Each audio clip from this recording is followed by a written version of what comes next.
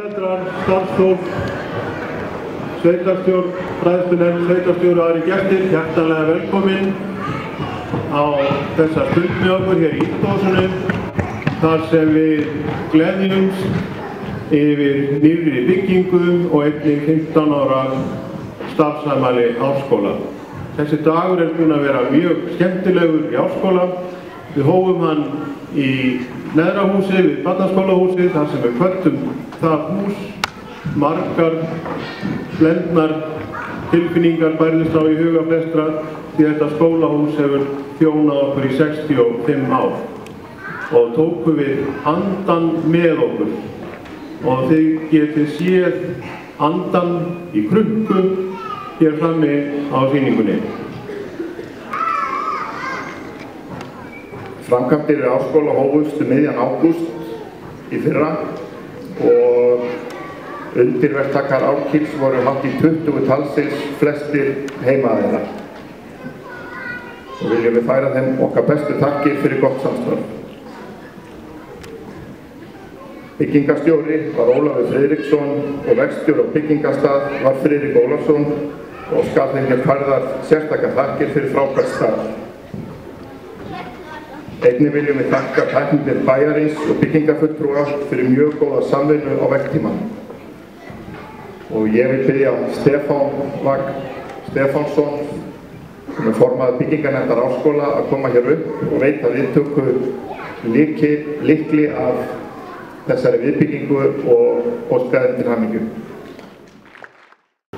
Nefnendur, starfsfólk áskóla og aðri gestir til hamingju með daginn. Það er sannur heiður fyrir mig að fá að standa hér í dag og taka á móti fyrir hönd byggingarnefndar áskóla og afhenda líkil að nýjum og glæsilegum áskóla. Aðdraðandi málsins er allt nokkur en á fundi sveitastjórnar Sveitafélagsins Skagafjörðar þann 7. mars 2012 var samþygt að hafnarskildu framkvæmdir við endurbætur og viðbyggingu áskóla á Söðurlund. Stækkun áskóla og saminning skólastegana undir eitt þakk hefur verið í umræðinni í töluverðan tíma. Árið 1999 áriðstæði þáverandi skólanefnd að stemt skilda því að allur grunnskólinn á Söðurkróki yrði til húsa undir einu þaki við Skagfirðingabraut. Ljóst var að ekki vera hægt að fresta því lengur að taka ákvörðun um nýbyggingu eða verulegar endurbætur á núverandi skólahúsnaði við Freyjagöld. Eftir mikla yfirlegu var ákveðin eins og áður segir að ráðast í nýframkvæmdir og endurbætur á húsnaði skólans í Skagfirðinga. Fyrir lág tilbóð frá Kaupfélagi Skagfirðinga um að lána til verksins og var gengið til samninga í félagið og í kjölfarið undirritaður fjármögnunarsamning. Samið var við Árkíl, EHF um verklegar framkvæmdir og með því tryggt að verkinn væri unnið hér heima. Það sama á við um efnistátt verksins sem Kaupfélagskafringa sáum, sáum efnið. Skipuð var byggingarnefnd til að halda utanverkið sem í sitja ásamt þeim sem hér stendur Bjarni Jónsson og Jón Magnússon. Góður vinnuandi var í nefndinni og kannið þeim miklar þakkir fyrir gott samstarf og samvinni. Farið var yfir þær hugmyndir sem lágu fyrir um framkvæmdina ásamt því að skoðar nýjar útfæslur og nýjar leiðir.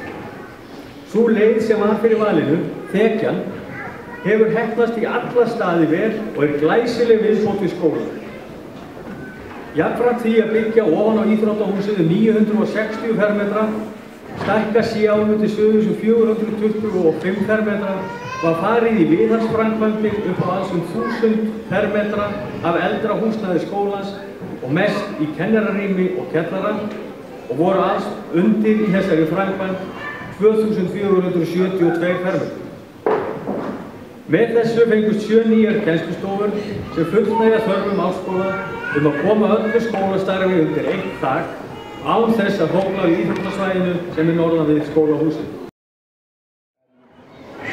Ég vil byrja Herdísi hér að taka við frá sáttmálanum 4 miljón krónar framlegi sem að ætlast til að notist til spjaldtölvu væðingar grunnskólana í Skagafjörði.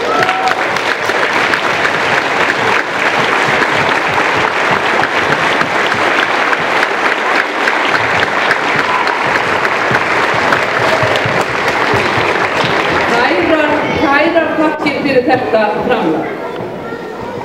Það er í senn ómetanlegt og einstakt hvernig sáttmálasjóðurinn með e, þáttöku kaupfélagskapurringa og sveitafélagana hafa komið að skólastarfi í Skagafjörði.